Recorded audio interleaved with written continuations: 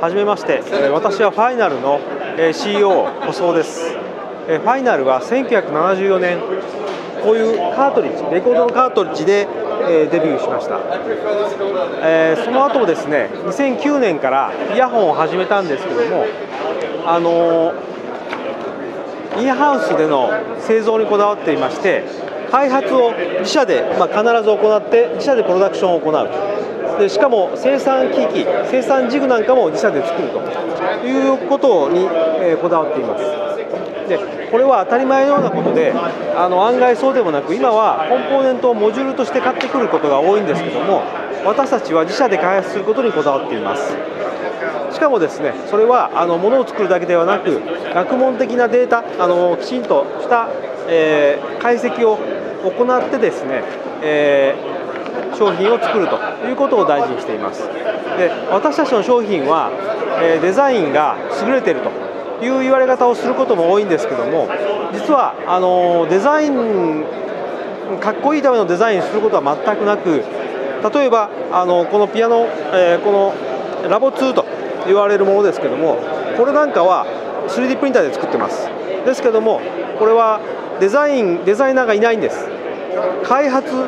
者あのエンジニアが、えー、形状を作ったらこういう形になってしまったというものになっていますだからうち私たちの商品はすべて、えー、音のためにすべて音のための技術が形になっているということが特徴になっていると言えます Hello, um, my name is Sean Gostello. I'm the uh, European representative for Final. Um, and uh, we've got something quite special at the show this year. We're uh, launching a new product which is a planar magnetic headphone, um, which is different to a standard dynamic uh, headphone. And um, the benefit of this kind of technology is that it gives a more detailed, more clear and accurate sound. Um, but Final has got something brand new here. It's a um, the next generation of planar magnetic technology. Um, we're calling it planar 3.0. Um, there's been some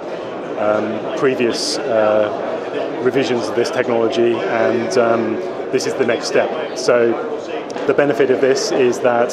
the uh, the bass response on planar magnetic normally is a is an um, is a problem. Normally, the bass response is hard to control, and there's actually a new technology that uh, Final have developed called um, uh, air film damper, and basically that controls this bass frequency um, and doesn't have a negative effect on the, the higher frequencies. So